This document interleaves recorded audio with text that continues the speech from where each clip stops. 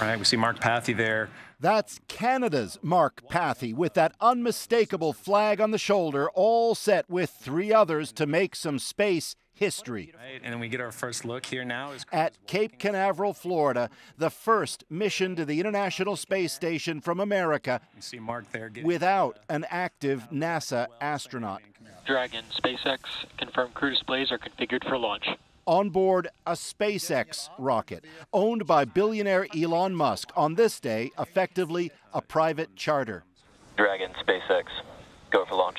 Pathy, who runs an investment firm, and two of the other three on board are super wealthy non astronauts, said to have paid some 55 million for the trip. It's been uh, incredible, but In training for months, Pathy spoke with CBC News ahead of the launch while still in pre flight isolation. It's already been a life-changing experience for me, and I haven't even launched yet. Challenging, but f- definitely fulfilling and, and amazing.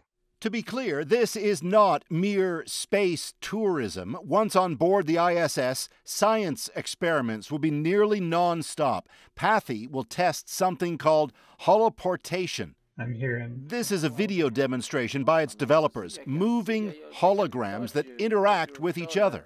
So what do you want to show me today?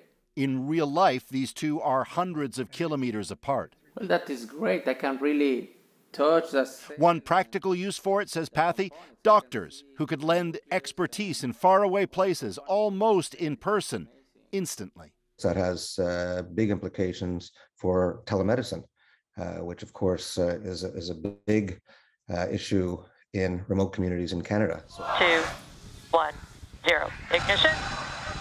Stop. And with that, off they went. Next stop, the ISS. Paul Hunter, CBC News, Washington. together.